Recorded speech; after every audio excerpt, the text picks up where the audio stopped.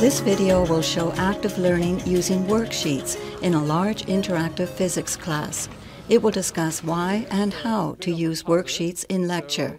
The class is one section of an algebra-based introductory course that has typically 750 students enrolled in three sections. When entering the lecture hall, the students pick up a worksheet that contains most of the activities for the lecture. In this example, the worksheet is designed to support an understanding of electric circuits.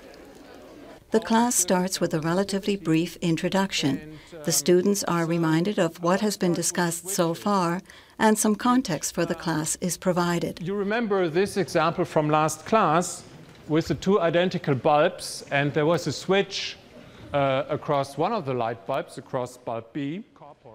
The introduction ends with a motivation for the first worksheet task, and then students are directed to start working on the first worksheet problem. And use the definition of power and our circuit rules to predict what happens when this switch... Students are typically given seven to eight minutes to work during which they are encouraged to discuss solution strategies with their peers. In my approach, the worksheets are actually the second exposure of the students to the new material. The first exposure um, to new content happens in the pre-class reading assignment. I tell my students that I expect them only to uh, know the basic definitions and, and perhaps try to understand the basic concepts without really expecting them to know everything in depth at this point. Typical worksheets contain conceptual questions, they contain relatively difficult problem questions that where the students uh, have to use some important procedural knowledge such as free body diagrams or graphs or uh, circuit diagrams, things like that. In contrast to uh, worked problems in which I just go through a solution, the worksheet activities give the students time to work on the problem in class at their own pace. A lecture TA and I visit with student groups. We will look at their worksheets, see where students get stuck. We will ask them where they have difficulties. If, for instance, several student groups have the same difficulties, we can interrupt the activity and give hints to the entire class. Having a teaching assistant is valuable in such a large class. The lecture TA answers student questions during worksheet activities and after class. He or she can alert the instructor to technical problems, such as when the writing is too small or the microphone not loud enough. He or she can carry a microphone and repeat student questions the instructor missed, or let the instructor know when a solution is not clear and needs more explanation. The lecture TA can also give important feedback after class and tell the instructor which activity motivated the students and which things are now clear or still unclear to the students.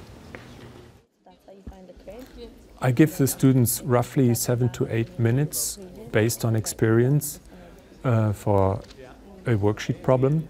And it turns out that in that time, roughly two-thirds of the students will have finished uh, the activity.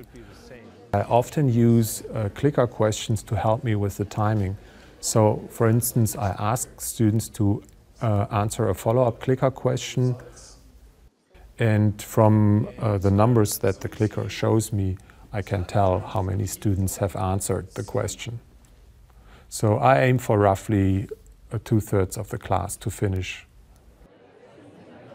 Worksheet tasks should be difficult enough to encourage peer discussions.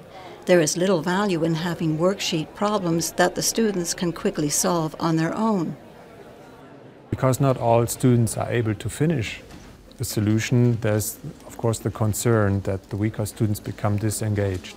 However, I often tell my students that they are not expected to finish a solution, that it's important just to think very hard about how to approach a solution and how to approach a problem and uh, that way, um, they have thought about a problem enough so that when I show the solution, they can compare their approach to mine. So even if they don't finish, they get a lot of, out of the worksheet activities. Asking a closely related clicker question is a good way to initiate the follow-up and bring the attention back to the instructor. A and B smaller than C and D, perhaps take another minute and discuss this with your neighbors that disagree with your answer and see if you can convince your neighbors. The clicker question and peer discussion usually takes three to five minutes. A detailed solution with discussion follows. That can take up to 10 minutes.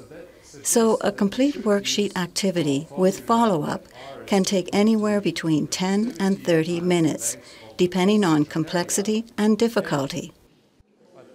In the 80-minute physics class, four worksheet problems are discussed Most on average. knew this, I2 is equal to I3. And so are these greater or smaller than I1? The follow-up is an essential part of a worksheet activity. The students had spent some time thinking hard uh, about a solution and they want to know now if their way, if their approach is the correct one.